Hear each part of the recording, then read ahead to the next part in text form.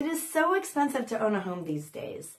Taxes keep increasing, homeowners insurance keeps increasing, and miscellaneous repairs pop up when you least expect them.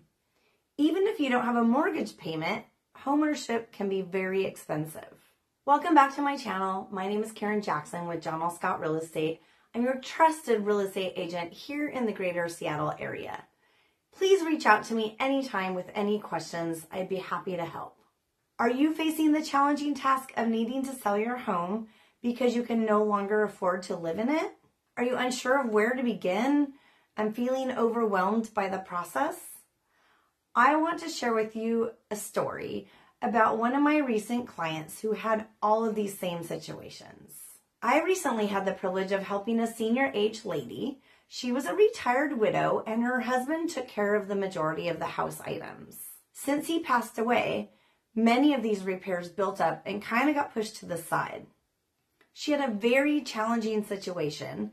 She could no longer afford to live in her house and she needed to downsize. She owned her house free and clear, but didn't have any money in the bank for moving or repairs, and some of this needed to happen in order for her to sell. Her house needed extensive repairs. There was water damage and major mold, and many maintenance items were not taken care of. She had major medical conditions and she needed out as soon as possible. And she had a ton of stuff. She didn't have anyone to help her.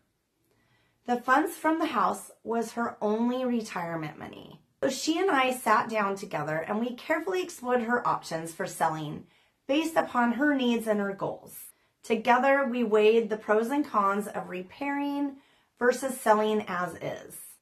Our focus was on minimizing her stress and ensuring a quick sale so she can move on. I found a contractor to do the repairs and to pay at closing. But after some quotes and timelines, we determined that this was really not the best fit for her situation. The small amount of money that she was going to gain by doing all of the repairs would equal a lot of stress and a lot of time, and we didn't really know for sure what the market would be like when she was ready to sell. So this was not a good fit for her, but it could be a good fit for a different situation. The result was incredible. It is amazing how many people pulled together to try to help this lady who they didn't know who really needed some help. I found an investor willing to purchase the property as is off the market and all the items could stay. They even helped her pack her dishes and the items that she wanted to take with her. We negotiated a free rent back option so she would have funds to move and we sold it to them off market. She had one month to move out. It was a great win for everybody.